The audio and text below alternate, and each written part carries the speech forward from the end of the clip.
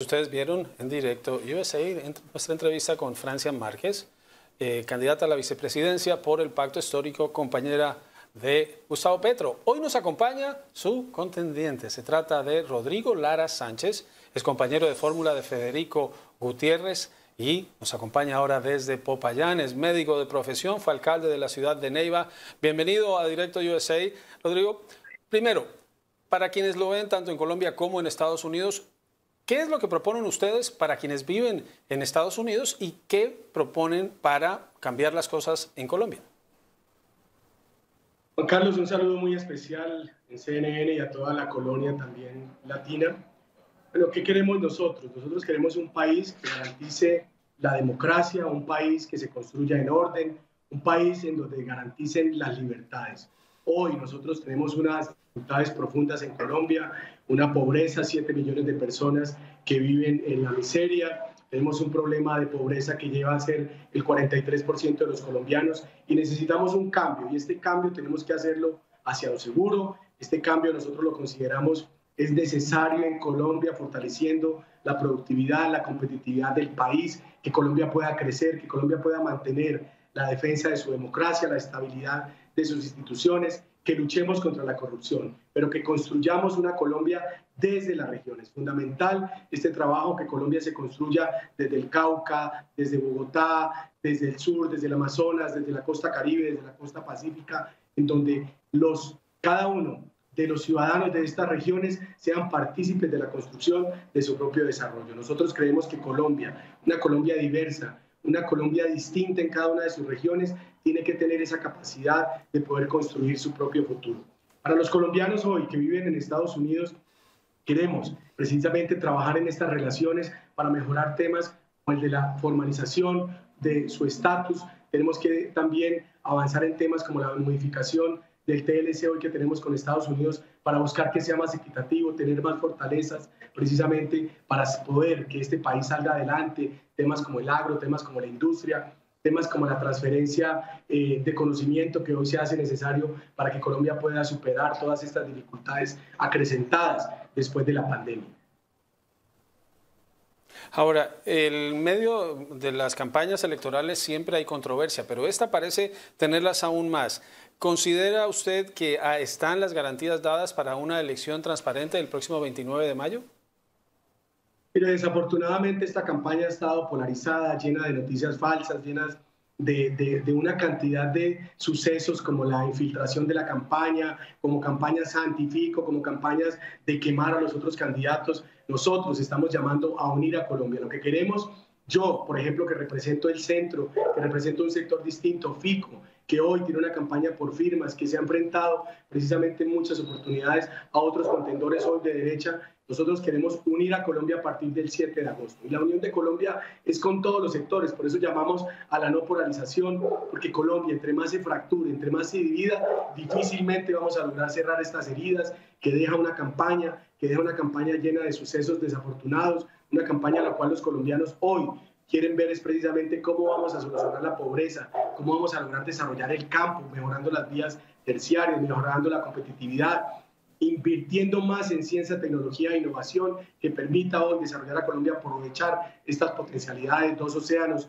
todos los climas y más de 20 millones de hectáreas adicionales para desarrollar eh, alimentos, para producir alimentos no solamente para una seguridad alimentaria, sino para el mundo entero. Así que el llamado es a la cordura, es al respeto, es al debate de ideas y esperemos que sea la democracia la que escoja finalmente. Y pedimos desde Colombia el acompañamiento de la comunidad internacional para blindar estas elecciones, para evitar esos sesgos que puedan existir, especialmente en ciertas zonas de Colombia donde hay influencia de grupos al margen de la ley que hoy invitan a votar por un candidato en especial. El, eh, su rival, Francia Márquez, dijo en, la entrevista que uno de los objetivos que ellos tienen es pedir un estatus de protección temporal para los colombianos indocumentados en Estados Unidos. ¿Esa sería una prioridad de ustedes ganar las elecciones? Claro que sí, esa es una de las prioridades que tenemos nosotros para que logremos que estos colombianos tengan una oportunidad allí en los Estados Unidos como lo tienen otros países actualmente y dadas las condiciones que vive el país. Es algo necesario para los colombianos que viven por todos los Estados Unidos y que buscan ese sueño americano, ese sueño de una oportunidad de poder desarrollar ese proyecto personal. Hace 38 años su padre fue asesinado por enfrentarse a los carteles de la droga. Ese fenómeno, antes que reducirse o controlarse, está ahora eh, mucho peor. ¿Qué pueden hacer ustedes desde la presidencia y qué le dice usted a quienes cuestionan a su candidato, a Federico Gutiérrez, por eh, los vínculos de uno de los funcionarios eh, de cuando él fue alcalde de Medellín con organizaciones al margen de la ley? Bueno, primero nosotros no estamos haciendo pactos en las cárceles con delincuentes. En segundo lugar, nosotros estamos de acuerdo en continuar la extradición de todos estos delincuentes, en combatir los carteles. No hacen acuerdos ni pactos de perdón con estos delincuentes. Que sea la justicia norteamericana, en el caso de que los pida, la que nos juzgue. Nosotros Hoy estamos comprometidos en la lucha contra las drogas, pero necesitamos del apoyo internacional, de los gobiernos como el de los Estados Unidos, para que estos proyectos de restitución de cultivos, estos proyectos que tienen que apoyar estos sitios como el Cauca, el Catatumbo, como Nariño, como el Putumayo, en donde se amenaza la naturaleza, en donde se amenaza el agua, se amenazan los bosques, hoy contemos con recursos suficientes para llevar vías, para llevar escuelas, para llevar hospitales, para que estos proyectos productivos sean sostenibles en el tiempo. Esa es nuestra propuesta, eso es lo que nosotros queremos para Colombia, que no sea solamente un tema militar de presencia, que sea un tema también de acompañamiento para los campesinos, para estas personas que estamos seguros que de tener una posibilidad distinta no estarían hoy cultivando estos cultivos ilícitos. Pero nosotros no estamos haciendo pactos ni acuerdos en las cárceles y aquí quiero ser muy seguro. Yo conozco a Federico cuando fue alcalde capturó a más de 160 delincuentes vinculados con el narcotráfico en Medellín. Tuvo expuesta su familia y su vida, que le requirió un esquema de seguridad de más de 30 personas